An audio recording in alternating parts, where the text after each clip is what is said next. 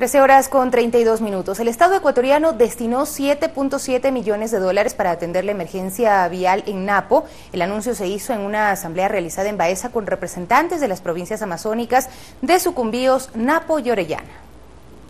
Luego de 36 días de la declaratoria de emergencia en la vía Papayacta, Baeza, Cosanga y Edenarupa, Cotundo, ubicada en los cantones Quijos y Archidona, fueron asignados los recursos económicos.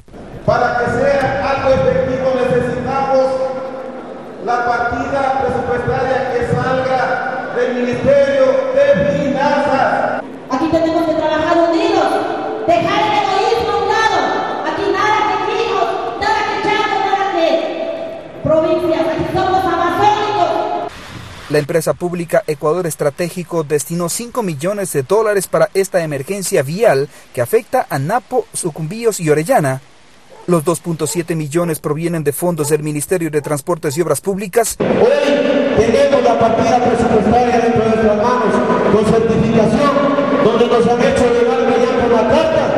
Las autoridades informaron que con estos recursos se inician los trabajos en los 29 puntos críticos la próxima semana. Y ya este pueblo se cansó y el día de hoy